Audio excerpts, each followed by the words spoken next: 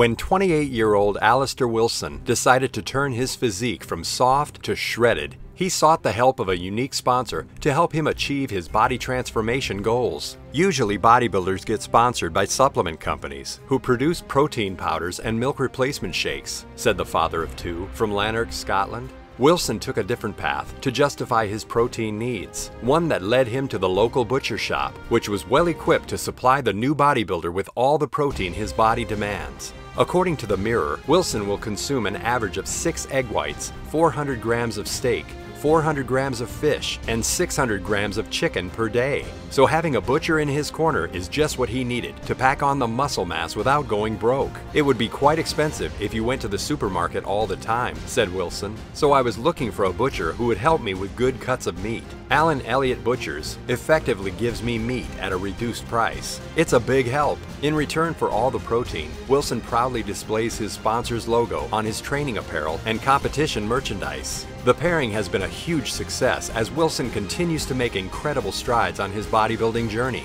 and his sponsor continues to reap the rewards of his success along the way. Check out these transformation pics to see just how far the fitness buff has come. How many other athletes do you know who are backed by a butcher?